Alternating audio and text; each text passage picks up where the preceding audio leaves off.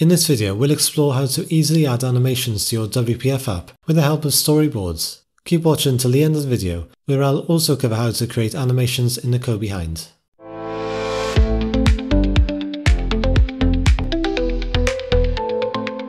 Hey guys and welcome to Azul Coding. All the code in this video is available from the link in the description down below. Towards the end of the video I'll be writing some C Sharp code to explain how to create storyboards in the code behind, and there's a VB.NET translation of this that you can get from the link as well.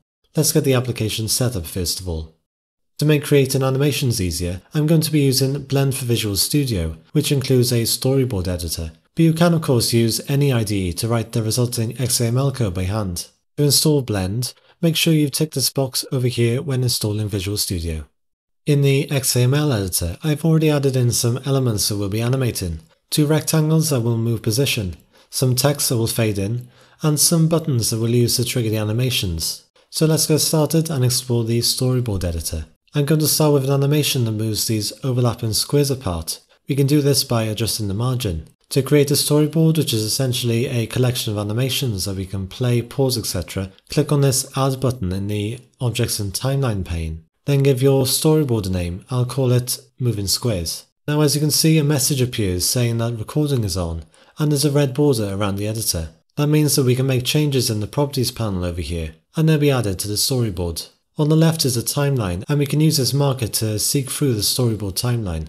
Let's put the marker at 1 second and select the green rectangle first. And then over on the right, I'll adjust the margin.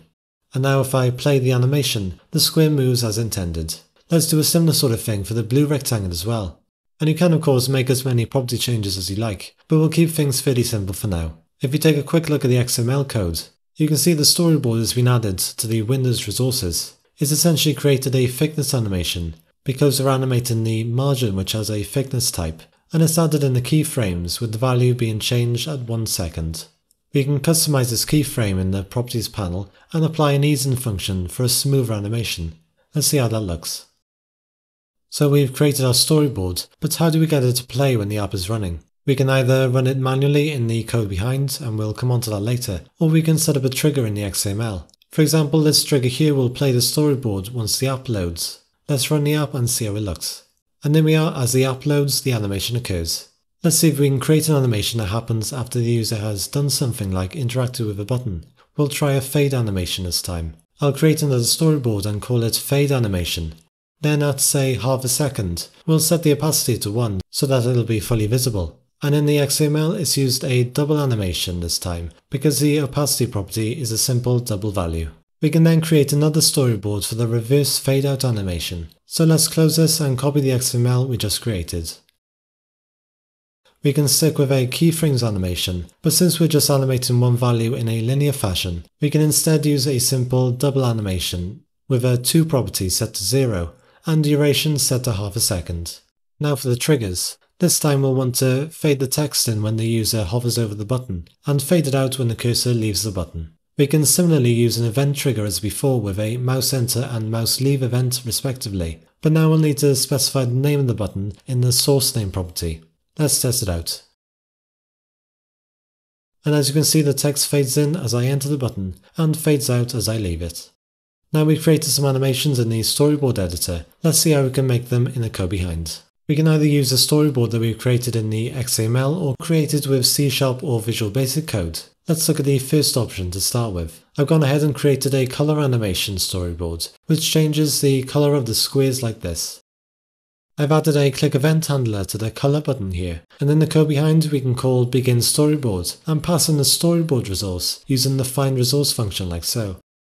I've also added a completed event handler to the storyboard in the XAML, and so when the animation finishes, we can do something else like hide the color button for example. Let's run the app and see how it works.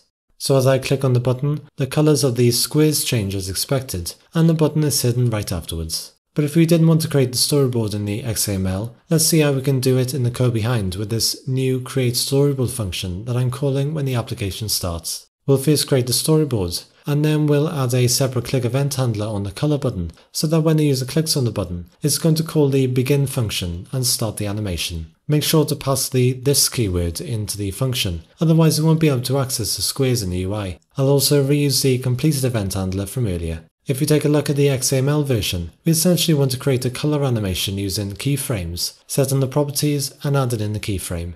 Let's start doing this for the green square first.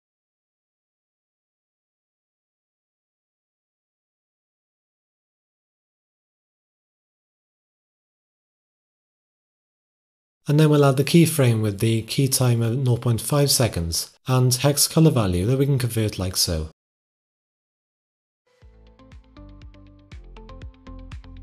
And then a similar sort of thing for the blue square as well. Let's comment out this line here and test it out. And then we are the animation still works. If you're looking for some example apps to use WPF animations, I've created a suite of desktop apps that are all open source. And if you're looking to become a polyglot, check out my language and Insight that's 100% free. All the links are in the description down below. Be sure to leave a like if you enjoyed this video and subscribe to keep up to date with the latest from Azul Coding. Thanks for watching and I'll see you soon.